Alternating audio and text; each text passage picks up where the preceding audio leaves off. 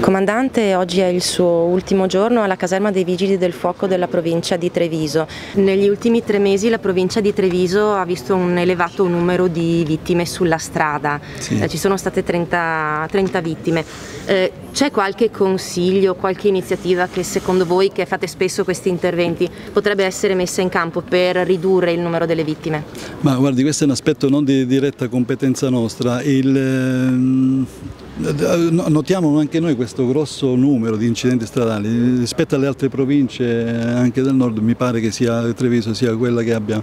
un po' più un'incidenza maggiore di, di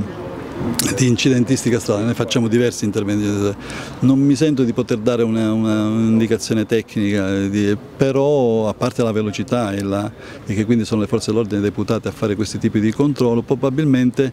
una, dire, una, un, diciamo una, protezione maggiore delle sedi stradali potrebbe essere, potrebbe essere un'indicazione, una valutazione da fare.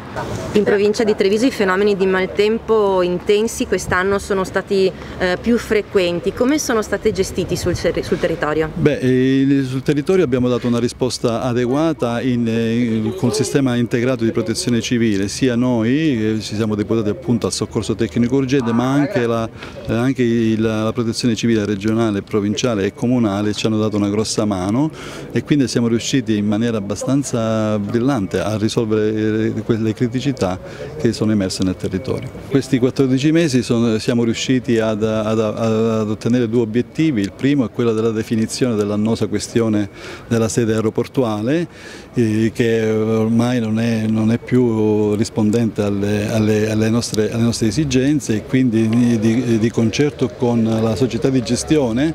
a cui do, do il mio ringraziamento unitamente al, al prefetto che ha, avuto, che ha, la, diciamo, ha fatto un'attività di coordinamento per, definire, per addivenire a questa soluzione, per cui in tempi brevi, eh, ragionevolmente nell'ambito in un paio di anni riusciremo ad avere una nuova sede eh, con, diciamo, più confacente eh, sia dal punto di vista operativo sia dal punto di vista logistico.